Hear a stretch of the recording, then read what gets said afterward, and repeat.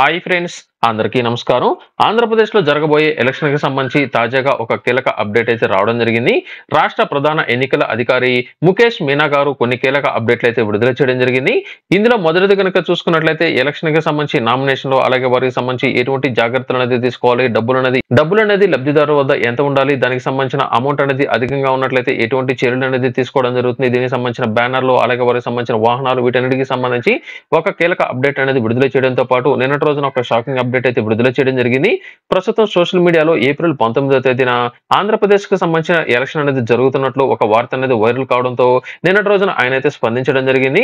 Social మీడియాలో ఇటువంటి వార్తలను నమ్మొద్దని ఏదైనా సరే ఎలక్షన్కి సంబంధించి అప్డేట్ కనుక ఉన్నట్లయితే మీడియా ద్వారా మాత్రమే తెలియజేస్తామని ఆయన అయితే తెలియజేయడం జరిగింది. అయితే గతంలోనే దీనికి సంబంధించి ఎలక్షన్ అనేది పంతొమ్మిదో తేదీన జరిగే అవకాశం ఉన్నట్లు ఒక నోటిఫికేషన్ అనేది గతంలో రావడం జరిగింది.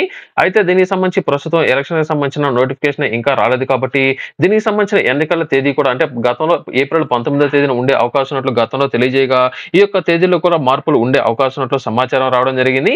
రాష్ట్ర ప్రధాన ఎన్నికల అధికారి ముఖేష్ మీనా గారు తాజాగా ఇచ్చిన అప్డేట్ కనుక చూసుకున్నట్లయితే ఎలక్షన్కి సంబంధించి నామినేషన్ల దగ్గర నుండి లబ్ధిదారులు వీటన్నిటికి సంబంధించి కొన్ని కీలక అప్డేట్ అయితే విడుదల చేయడం జరిగింది.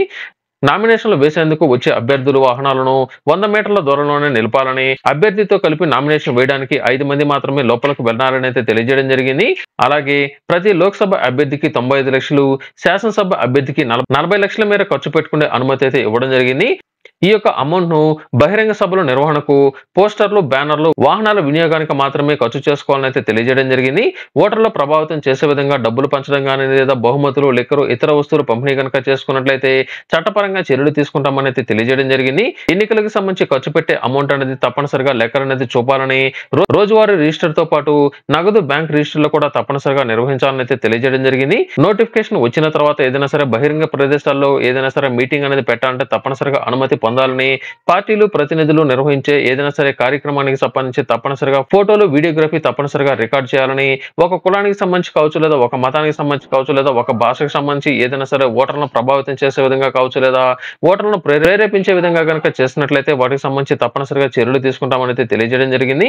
అభ్యర్థులు ఏజెంట్లు కార్యకర్తల వద్ద యాభై వేల రూపాయలకు మించి నగదు అనేది ఉండకూడదని పదివేలకు మించి విలువైన వస్తువులు వాహనాల్లో ఉండకూడదని కూడా తెలియజేయడం జరిగింది. స్టార్ క్యాంపెయిన్లకు లక్ష రూపాయలకు మించి నగదు అనేది ఉండకూడదని పరిమితికి మించి నగదు ఉన్న వాహనాలను తప్పనిసరిగా సీజ్ చేస్తామని అయితే తెలియజేయడం జరిగింది.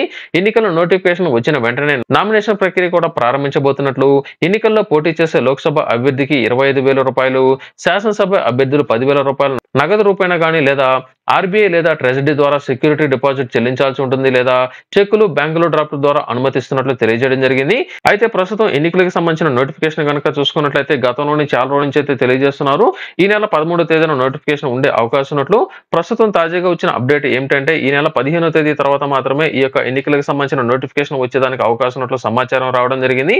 వివిధ పార్టీలు ఈ నెల పద్నాలుగో తేదీ వరకు ఈ నెల పద్నాలుగో తేదీ వరకు అన్ని పథకాలకు సంబంధించిన స్కీములు అనేది యథావిధిగా ప్రారంభం అవుతున్నాయి కాబట్టి వీలైనంత వరకు ఈ నెల పదిహేనో తేదీ తర్వాత మాత్రమే ఈ యొక్క ఎన్నికలకు సంబంధించిన షెడ్యూల్ వచ్చే అవకాశం ఉన్నట్లు ఏప్రిల్ నెల ఇరవై ఐదో తేదీ తర్వాత కానీ లేదా ఏప్రిల్ నెల చివరాకలో ఎలక్షన్ జరిగే అవకాశం ఉన్నట్లు ఒక అప్డేట్ అయితే ఉంది.